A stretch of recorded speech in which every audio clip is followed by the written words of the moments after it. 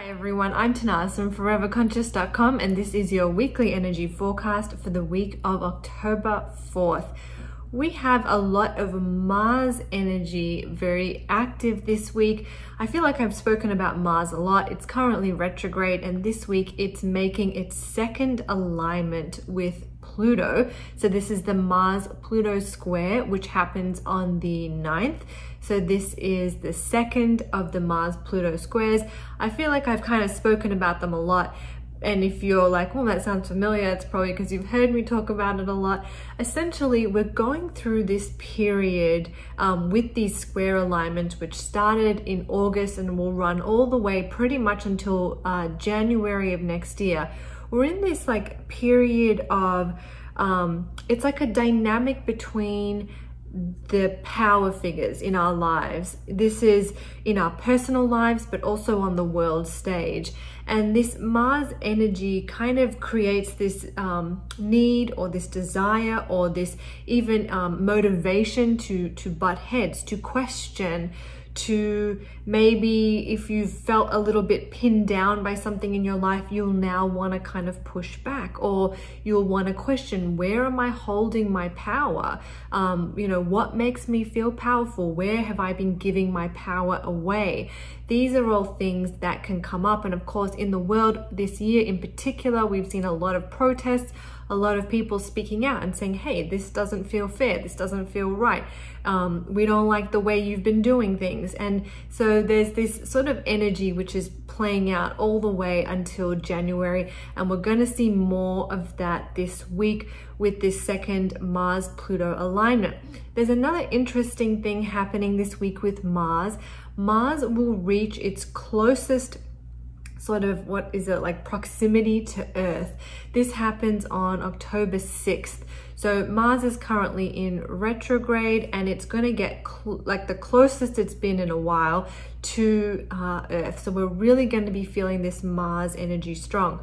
When Mars moves close to Earth, we can also see extreme weather patterns, um, especially heat waves, especially fires, especially like kind of like Mars type uh, energy happening in the weather. So just something to be aware of. Um, it's a sort of more of an interesting fact to see how these planets do affect us and do um, you know affect us in a more visible physical way sometimes rather than just on an emotional level um, so I'm really feeling this week for me you know last week we had the Aries full moon and just again this strong energy Mars energy I'm really feeling like in this space of wanting to be the student rather than the teacher. It's kind of how I feel today. I feel like, um, you know, I I want to step out of the teacher role and into just more of like, okay, how can I keep learning for myself? How can I keep growing for myself?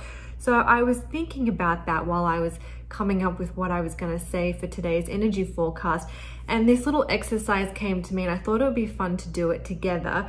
And it's just kind of um, honoring and recognizing the teacher and the student within you. Like, yes, I'm up here and I'm telling you like these, this is what's happening in the cosmic sky, but you can do this too. You know, you have this, your own intuition. You have your ability to be able to guide yourself and intuit for yourself what energies you need to focus on for this week. So that's what this little exercise is gonna um, help all of us, even me, uh, I've actually, I've already done it, but I'll do it with you as well. So we're just gonna close our eyes. We're gonna put our hands over our heart, just taking a nice deep breath. And with your hands over your heart center, just sort of feeling into your body and just what does it feel like to be you right now in this moment? Maybe taking another breath. And then asking yourself, what is the most loving thing I can focus on for myself this week? And just allowing, just allowing the answer to float up.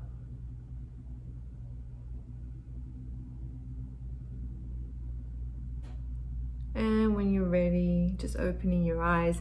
So maybe you have to do that again and give yourself a little bit more time. But what is the most loving thing I can focus on for myself? And allow the answer to come up from inside of you rather than being something that we logically think about or we try to like okay how can i you know what can i do that's loving don't allow it to be like a headspace energy allow the answer to float up from inside of you. So if you need to, try it again and just sit there until the answer kind of floats up. So that was just something I felt inspired to do because I'm kind of feeling like we have all this energy and uh, it's feeling a little overwhelming for me. And I thought, you know what, I put my hands up and I think we all have to, you know, claim our own power, find our own power and figure out what feels right, what feels good for us, especially as we move through October because it is a very, um, you know, it's the high point of the roller coaster, I think, for 2020. So, I mean, there's still more. We still have eclipses and big activations happening in December, but October is a very pivotal month. So be gentle with yourselves. And I wanted to leave you with a mantra from my book, My Pocket Mantras. Um, and here we go. I've just flipped open to a page. I will be kind to myself. I will take care of my needs before others. Well, there you go. I will be kind to myself.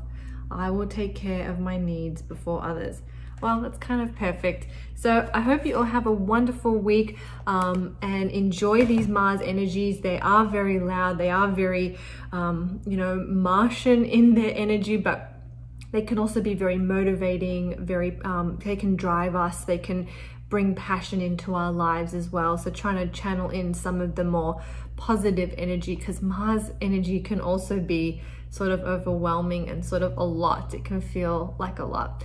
So I hope that's helpful. I hope you all have a great week. I'm Tanaz from foreverconscious.com. Thank you so much.